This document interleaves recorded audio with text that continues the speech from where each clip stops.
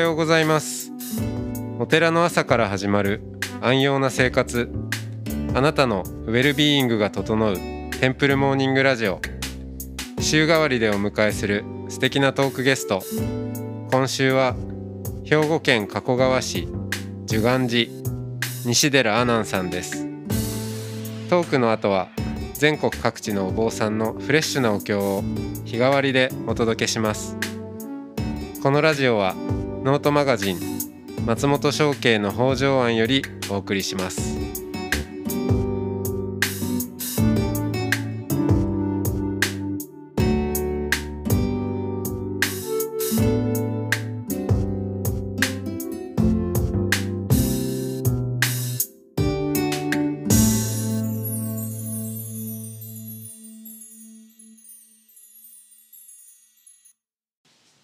おはようございます。おはようございます。はい、えー、今日も西寺アナンさんとおしゃべりをしていきます。よろしくお願いします。どうも。いやーあのーこれも仏教？あれも仏教っていうね。あ、まあそれ仏法やでって。ね。うんあなたのそれ仏だからなんかあのまあ共通のあの布教師の先生で、うんあの福間議長先生とか。佐久間先生もね、うん。このラジオ出てもらったあことがあって初期。に、福間先生の、あの話でこう仏法ってやっぱ視点変えることやみたいな、うん。うん自分の視点がカラッと、まあ、仏さんの視点になることで自分っていうことから見てたんでガラッと変わることやっていうのでさ、うん。あの例え話としてあのされてたのがうん。あのある時あの、まあ、聞いた話やから正確じゃないかもしれんけど、うん。ある時あの、えーバスでうん。その仕事先まで行く、まあ、人がいたと。でもそのバスめちゃ混んでて、うん。まあ、今日も暑い日やけどまた暑い日であ行くのも嫌やなでしかもバスも混んでんなって、まあ、そういう嫌な気持ちってね誰でもあると思うけど、そしたらその時バス乗って目的地行く途中にあのそのバスの中に赤ちゃん連れのお母さんがいたって。うん。赤ちゃんがうんギャーギャー泣くんだって、うん。まあ大人でも暑いな満員で気持ち悪いなっていう感じだから、まあ、赤ちゃんなおさらね、うん。でうーわ赤ちゃんめっちゃ泣いてる。まあ心にその人も多分余裕なくなってて、うん。だからもううわ仕事で遠いとこも行くしバスめっちゃ混んでるし暑いしもう最悪なバス乗ったな、うん。まあそういうことって口では言わんでも誰しもちょっとぐらい思ったこときっとあるあるね。うん。ほんでそういうバス乗ってたら、うん。ある停留所ででもなんかそのた特に何もないような停留所でそのお母さんが「すいません降ります」っては赤ちゃんギャーギャー泣いてる子つ連れて降りようとしたって。うん。そしたら「あ赤ちゃん降りるわ」と思ってうん。見てたらあのバスの運転手さんがあのバスってほら運転手さん放送はスピーカーで声入る。しゃべれる。うんだからあれおその降りられるんですかってどこ行かれるんですかって声かけはってんだよ。うんうんうん。なんもないとこ何もないところやったから多分。そそしたら「いや実はこの子朝から具合が悪くてあのちょっとその2つぐらい先の病院に連れて行こうとしてたんです」うん。でもまあちょっとこの子も限界やからで皆さんもおられるしちょっとこっから降りて、まあ、2駅ぐらいから歩いていきますみたいな、まあ、こういうことをお母さんが言わはった。うん。だバスの運転手さんがちょっとまあ間を置いてから「あの皆さんちょっとまあお急ぎのとこ申し訳ありません」と「今この赤ちゃん病気です」と「たちょっと具合悪いです」と。うん。で2つ先の病院まで行きたいっておっしゃってますうんどうかみんな協力してあのそのこの赤ちゃん病院まで連れてい乗せて行ってあげることできませんか？みたいなことを言われてんだ、うんうん。そしたらみんなも「あほんまそうやな」って連れて行きたいなってその一言でくるっと視点が変わったっていうかさ、うん。でわーってそのはあの運転手さんに対して拍手が起きて、うん。でふもうそっから先は、うん。なんとかこの赤ちゃんあの病院に早いこと連れて行くぞみたいな気持ちにバスの中が変わって空気が一変して、うん。一瞬にして立ちどころに。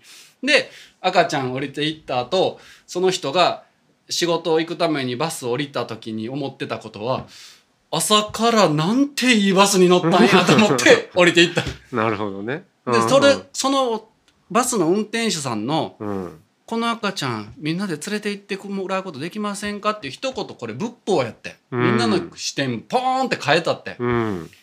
だからお経のか書いてある言葉だけの文言まあもちろんそれが正しきまさしきそのお釈迦様がおっしゃったとかうん。また宗祖がこういうふうにあの示されてるっていうのはもちろん仏法だけどうん。日常に仏法って絶対あって。うん。でおしお坊さんはそれ仏法ですよっていう役割を今もしできたらうん。それああなたそれ仏法え仏法なんこれみたいな。じゃあ私も ぶねどこの宗派とかって思ってへんかったけど、うん。仏法のただ中に今いたんみたいな。うんうん仏法。私の口からそれが出ていた。ぶそうそうそう。なんかそういうふうなうん。あの生活に自分が生きてた中の仏法みたいな。うん。なんかそういうしなんかこうムーブメントっていうかな。うん。それ仏法ムーブメントみたいな あのここにもそうそうそう。で,、まあ、でも絶対いっぱいあると思うんだよね。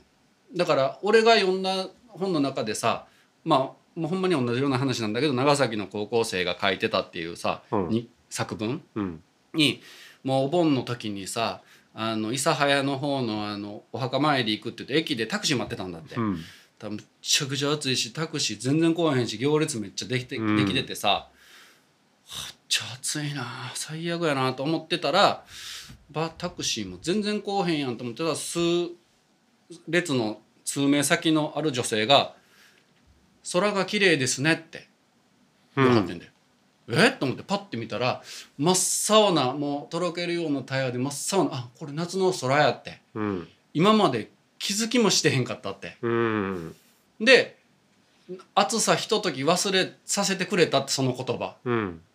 それもやっぱ目線をフォンと変えてさそうね。暑い急に涼しくなりましたみたいな話じゃないやんか、状況全く一緒やのに心が転ぜられていくっていうかさ、だかうんら俺それ読んだ時にまあ福間先生の言ってたから、うん。心の中で「それ仏法」って本読みながら思ったけど、ど空が青いですねっていう一言さ、まああのあの今翔ちゃんに渡したけどあの、うん。翔ちゃんがこういうふうにあのテンプルモーニングラジオ、うん。実際問題にあのこういうごこういう状況になってあの人と人とが会えへんくなったからポッドキャストでうん。こういうしあのまあ音声で伝えていくっていうのを、まあ、選んだようにうん。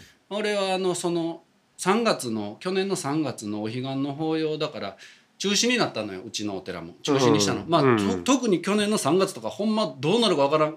ね。そうね。一も番う今 ねなんとなくそういううコロナ新型コロナウイルスってどういうもんやとかさどういう対策したらいいって分かってたけど、だから中止になった時にまあどうしようと思ってさ。で一応俺があのお話しさせてもらう法要の後にお話しさせてもらう予定だったんだけど亡くなったからどうしたらいいかなっていう時にあのさっきも話出た福間先生が時報の代わりにその法話を、まあ、年10回ぐらいかな発行されてて、うちのお寺にも送ってくださってんの。うんあじゃあそういうスタイルの伝える方を、えー俺もちょっと挑戦してみようと思って、うんまあ、自分もあのそのほら書くとなったら勉強するとかってやっぱあるやん。うんやろうと思ってその3月から毎月書き始めたの。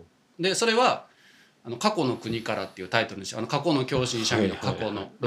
であのふるさとの里、うん。まあ、それ西寺豪太って俺の兄貴の豪の字使って、うん。で俺が書いて兄貴の名前も入ってておかんが手書きで書いてんのよ今このパソコンの時代に。うん。あさっきねちらっと見させてもらって。で親父が、うん。あの親父がちょっとイラスト書いてんだけどあ住所が全員そこに入ってるみたいな、あのお寺の関係の。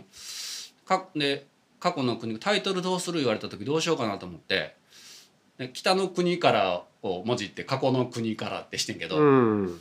まあそれ書いてる中にもあのなんかその空が青いですねっていう話はまあちょっと書かせてもらったんだけど、うん。それで。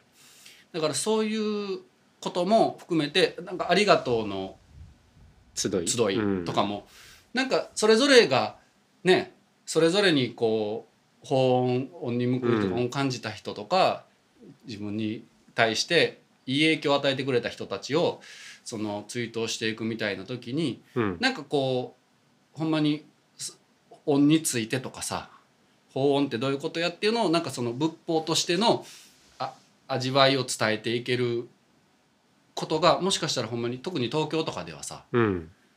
あの必要やろうな、まあ、東京に限らずだろうけどでみんな結構求めてると思う。俺の周りの人に限って言うとね少なくうん。みんな言うたから分からんけど。そうだよもうそういうこうふっと視点を変えるような、うん。えーお坊さんでありたいもんですね。まあなかなかねうん。それは、でもその視点を変えるうことをどなたかがおっしゃったり、うん、そういう行動があった時にそれに気づける人ではありたいよね。そうね。あ、うん。あなたのそれっうん。ていう自分が自分から起こせるかは分からないけど、うんそういうね、うん。なそこってやっぱ感性がうん。開いてないとね、うん。気づけないうん。から、そうありたいなと思いつつ、うん。そのまあまあそれも仏法ですねで言うと、うん。なんか阿南もそうだし、うん。兄弟の名前がねうんうん。仏法なんだよね。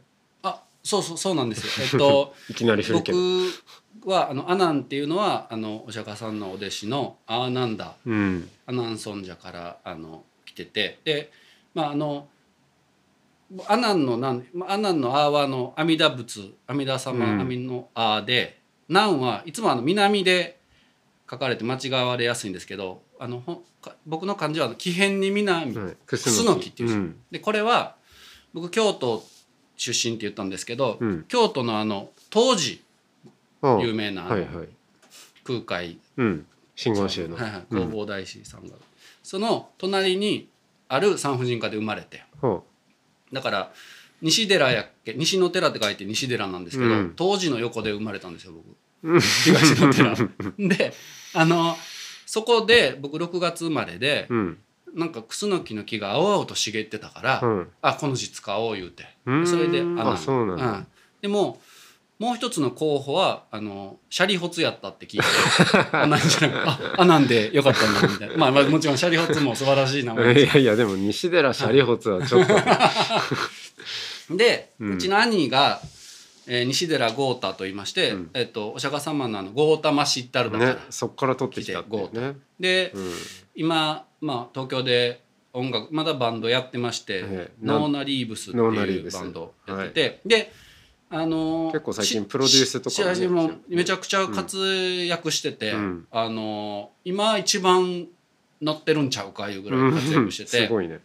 でそのことも翔ちゃんが多分知ってくださってて名前ぐらいはバンドの、あうんもちろんもちろん。それであの親しくなったっていう、まあ、兄貴の関係もあったりして、うん。だからその何何回か前の回で、えー三軒茶屋っていう東京の繁華街でバーやってたっていうのも、そのバーには兄の知り合いのミュージシャンいろんなミュージシャンの方とかいわゆる芸能界の方とか、うん。あのそういう俳優さんとか、うん。いっぱい来てくださってて。だからほんまにだからそういマイケル・ジャクソンのあのお兄さんとかもね すごいね。来てくださったりして 何何出したらいいんやろみたいなえいいんですか？みたいな。なんかその兄が連れてきて。うん。でそういう意味で賑やかにね、うん。あのさせてもらってましたね。ねえ。だからで今僕もそのバーまあ、えー閉めてで一緒にやってた、まあ、仲間友達、親友相方がいるんですけど彼が今あの広島のクラブクワトロっていうライブハウス、うんうんあのパルコで就職して、うん。その後。うん。うんで最初新宿渋谷のクワトロいたけど転勤で広島いて、うん。で離れてるからでなんか俺らもちょっとでミシクウェブってねさっきも出たけど、うんそこでたまにイベントさせてもらってたんですよサンキングの,、はいはい。あのみんな。でもそこもお店も閉店しちゃったからうん。なんか俺らもやろうかっていう話でまさにそういうポッドキャストおちょっとやりたいなと思って、本当。うん、うん。で考えてたとこで,、うん。で兄もやってたしでうん。一回その兄がやってるポッドキャストにもうん。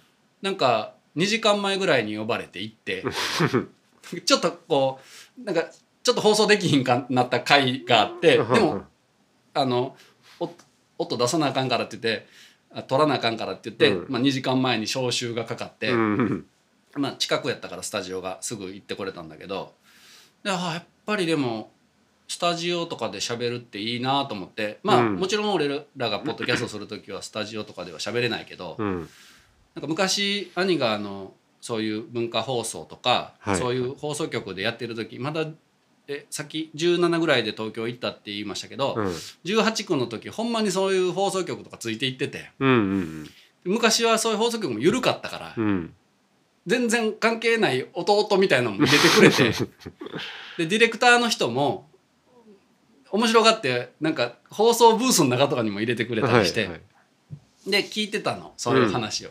でたまにその構成作家の人とか仲いい人とかいたらさ、うん。質問してなんか若者の意見言えよみたいな、うんうんうん。18歳の意見言えよ。でそこでちょっとだけ喋ったりっていうのを、うん。まあ数回やけど放送の中で何回かしたりしてて あやっぱこういうの面白いなとは思ってたの当時から。うんうんでもそれを久々にそういうことあってなかなかない機会やんそんなあんま放送局でしょ、うん。だからこの間スタジオで撮って思ってでああこういうのやりたいなってそもそも思ってたとこに翔ちゃんから久声かけていただいて、うん。この「テンプルモーニングラジオの」なかなかいいタイミングだった。そうそうそうそう、うん。ポッドキャストや。でもこのさうん。ポッドキャストってもうほんまあの現代の五文章じゃないおふみある種。おーおふみね。おふみというのはえー蓮如さんが書かれた、本願寺の第八代第八代。収集はいはい。はい蓮如さん。が書かれた。えー中高の祖はいはい。はいなんかあのお手紙ですね、はい、あの中中学高校とお坊さんの友達であの中学高校と野球やってたけどうん。大学であのソフトボールになったっていう子がいてうん。で草野球その子あのうちのチームに来てくれた時に、うん。兄貴があの「中高の祖やな」って言ってましたけど 中何何高いやいや中高野球やってたけど ソフトボールに祖になったから。中高の祖中高の祖そうあの親鸞上人のあのそう。あお実りをあのほんまにだから本願寺教団の主催者みたいな方ですよね蓮如上人っていうの。は。そうね。あのいわゆるーおしが教学教えはあの親鸞上人が残してくださったけど,、だけど教団としては大きくして、はいはいはいええまあこう今の浄土真宗があるのは、やっぱ蓮如さんのね、はいはい力が大きいんじゃないですかね。そのその方がその教えをあのまあ語り言葉で書いたお手紙のことを、まあ、おふみとかで本願寺派でいうと五文章ってお呼びしてて、うんでそれはいわゆる手紙で言うとなんかある先生にお聞きしたら言うと手にお派がちょっとやっぱ当時のことからしたらあのちょっと使い方違うとこもあるけどもうほんまにあの手紙が届いたやつを字がね読める人が代読して蓮如上人の代読してみんなが聞いたってだからこう語りかけるようにだ今やったらポッドキャストされてたかもしれんやんそれで言うと。そうだよね。うん、多分あの時はうん、メディアがしやねってると思うわ。だからポッドキャストでうん。伝えます、うん。だから音声でだって語り言葉として書いて、うん。だから何度も同じこと聞いて分かるように読んで分かるんじゃなくて聞いて分かるようにされてたから、うん。ポッドキャストやん。ポッドキャスターやんと思って。うん。蓮如上に日本初の、ね。あまあまあポッドキャストされてたわけじゃないけど、うん。でもそうだようね。ん、うん。だからそういう意味ではこういう取り組みも、うん。あのテンプルモーニングラジオなんかもほんまにだんだんこう聞かれる方が増えていって、うん。それぞれのあの立場の方がその仏教 仏教界の人も多いやろしそうじゃない方も当然いるやろうけど、うん。一つそれによってなんか仏法っていうのになんか触れていくっていうか、うん。あそうなんやみたいなねききっかけとしての、うん。なんかこうほんまにだあれでしょ？テンプルモーニングっていう取り組みもうん。まあ入り口の部分のあのもう掃除っていうことであれば宗派も超えるし、そうそうう、そう。ん。かつ誰でもできるし。誰でもできかつなんかまあ綺麗になって気持ちいいしね普通に、うん。ほんまに心も。うん。で習慣としても取り組めるし。そうですそうです。その習慣っていう意味で言うとあの蓮如上人という方がそのお正信下って何回か出ましたけどそのお正信下とあの和算っていうあの、まあ、仏徳三段を和語でされた和算あの阿弥陀様とかを称えた和算をワンセットにしてあの出版されたっていうのがもうルさっきもルターの話出たけどルターの「新約聖書」出版より半世紀早かったって、ああそうなんだ。文明5年、へへえっとそれは知らなか1473年。あの親鸞上人ご誕生から300年後やんと思ってそれ覚えやすいやんと思ったけど、うん確かに確か1473に。年うん。に出版された。でルターより半世紀早いの？みたいな。うん。すごいよね。だから絶対ポッドキャストとかされてたはず今やったら。間違伝えるために、ああらゆる手段を駆使してやってたんじゃないかな。だからそういう意味ではいでもういいよね、うん。あのいくらでも喋れるでしょ。あ、ね。あれ。あのそのあの 中身の内容で死いやいやいやいや。になってしまうけどまあそんなことであの話す話せばいくらでも話せますけど今日はこのぐらいですかね。はい。はい。じゃあありがとうございました、はい、ありがとうございました。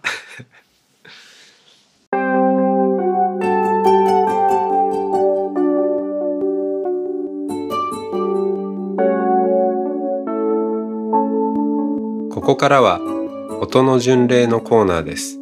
全国各地のお坊さんのフレッシュなお経を日替わりでお届けします。